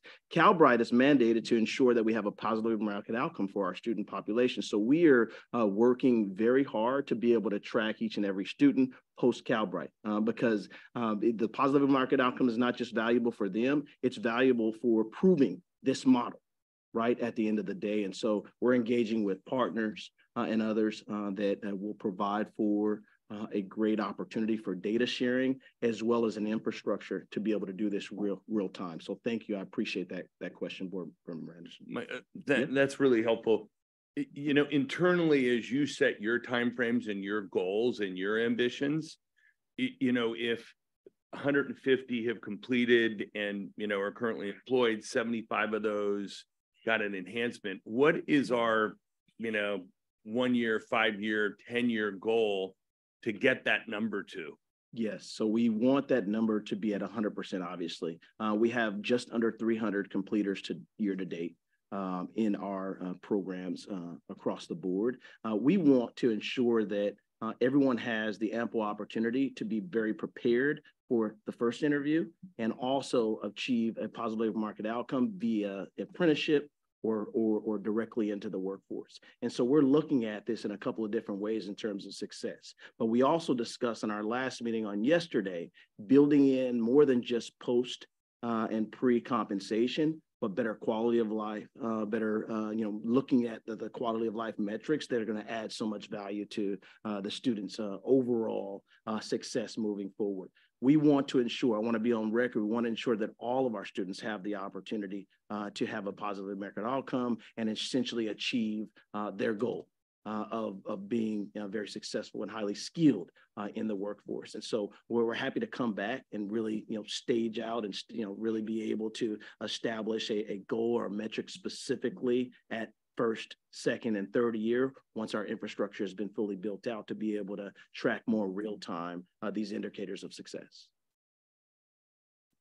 We'll okay. go to uh, Trustee Williams and then we'll see if we can get uh, Trustee Le Grande. You just made me think of, of another um, question. Does the state give Calbright any WIOA dollars to help with the follow up? Yes, so um, the, the good thing is Calbright is positioning itself uh, to be eligible for those WIOA dollars uh, post accreditation. Uh, we are working very closely to build out the, the infrastructure of being able to not just receive them, but to track them.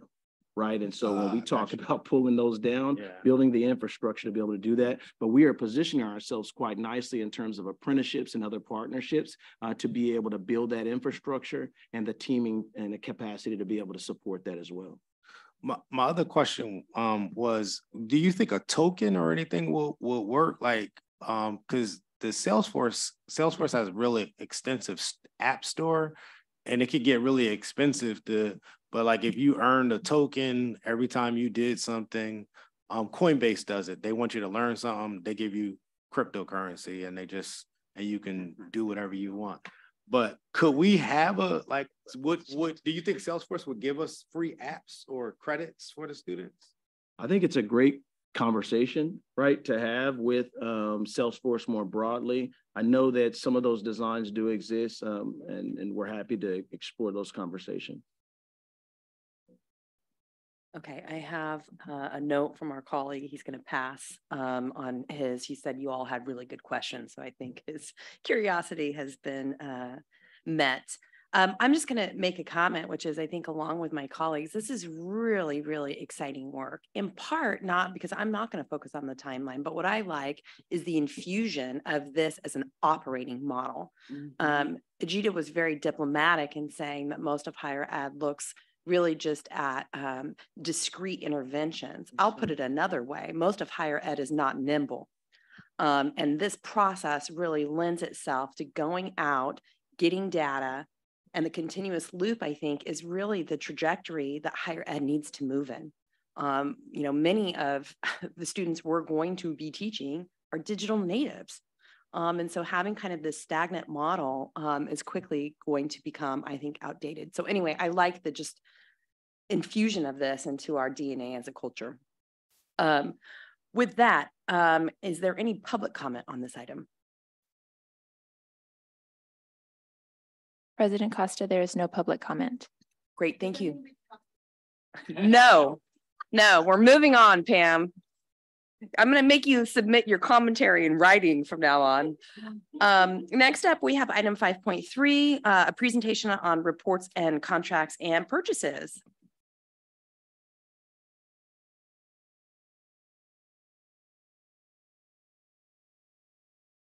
Um, good morning, President Costa, Vice President Aguinaldo, and members of the Board of Trustees. For the month of June 2023, we have 17 contracts with a maximum total of approximately 1.1 million. Um, to be exact, 1,109,320. Also in the month of June 2023, we have purchasing purchases totaling 163,574. Thank you, colleagues. Any questions or comments on this item?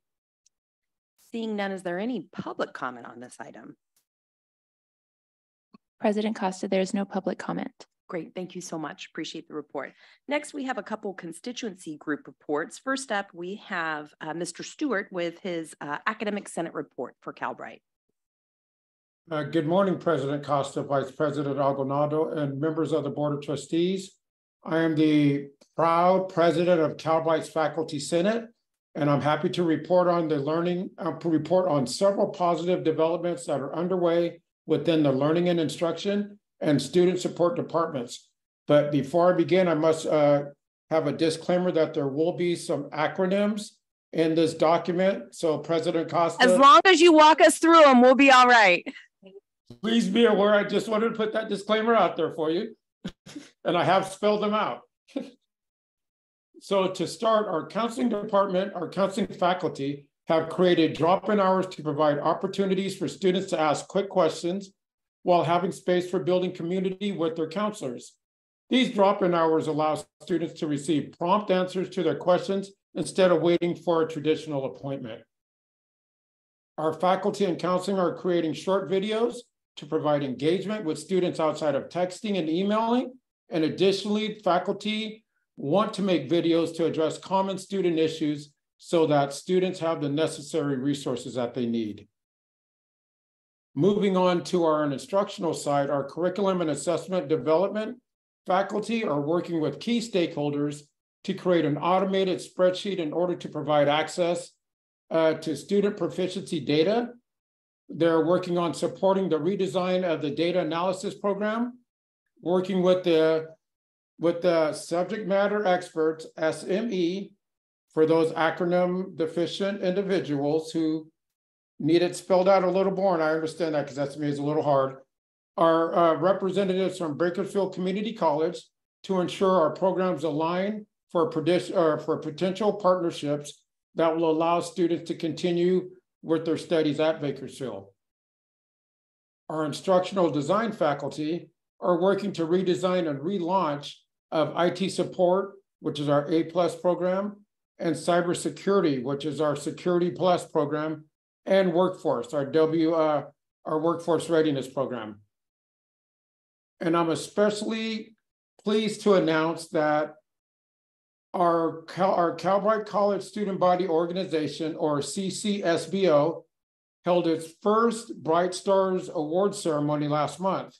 And I'm thrilled to announce that five Calbright faculty members were recipients of the Bright Stars Awards for their remarkable contributions to Calbright. Those faculties are Maisha Willis, Denise Tamal, Cindy Carney, Elizabeth Biddlecom, and Michael Stewart. Calbright faculty are heavily invested in supporting our students' goals to change the course of their future. Students are the reason why we became faculty, the reason why we show up every day, and the reason why we work hard to act as transformational agents of change. The days and nights and weekends can be long, and the work can be strenuous, but the knowledge that our efforts are making a positive impact on our students is priceless. Calbright's faculty are honored, grateful, and deeply moved to be recognized by the student community. We remain committed to delivering quality student fo focused education, working towards continual improvement as we move forward with the knowledge that we are creating value for our students. Thank you. Thank you, and congratulations to yourself and all of the honorees uh, of the Bright Star Awards. Uh, we do not have a Faculty Association report this month, nor a School Employees Association report, so we'll move to item 6.4, which is the Student Body Report.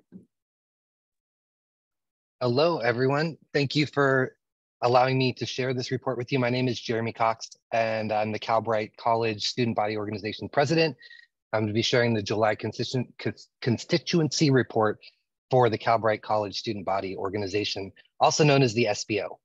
Uh, but very quickly before I do, I just want to say that uh, from a student perspective, the new support services that have come online in the past few months have been noticed. And I think that these additional services are making a positive difference in the student experience.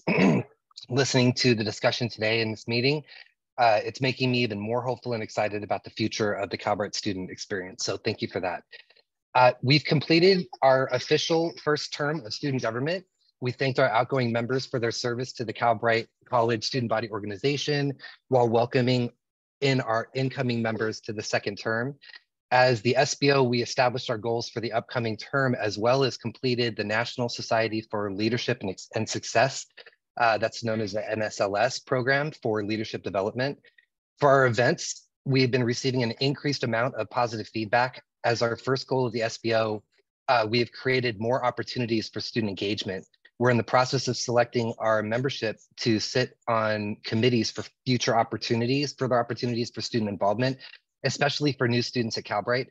Our second goal focuses on furthering our leadership development as the SBO by completing student service training. This is going to help us understand the importance of the student engagement via Slack. And with the help of the student uh, Office of Student Engagement, we're already incubating some really exciting engagement programs that will welcome students to Calbright to support them as they achieve their cert certifications. It will also help build a sense of belonging and community.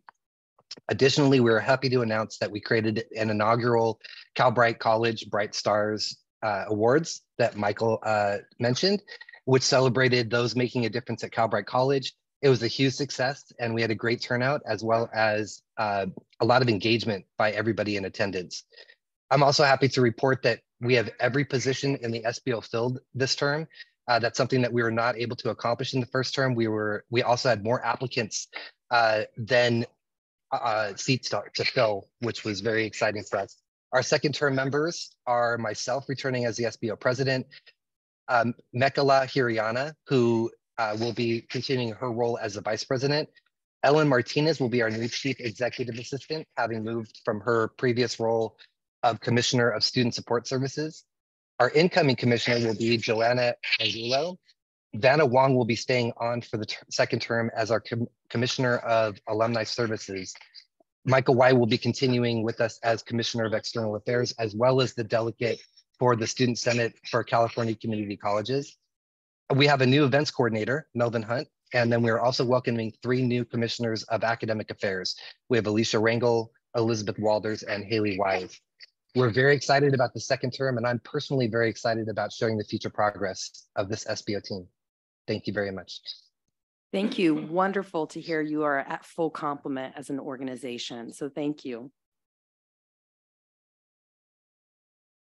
Um, with that, I'm going to open it up to members of the public if there is any member of the public that wishes to be heard. President Costa, there's no public comment. All right, with that and with the business of the Board of Trustees uh, completed, we can now adjourn. Thank you for your participation. And another early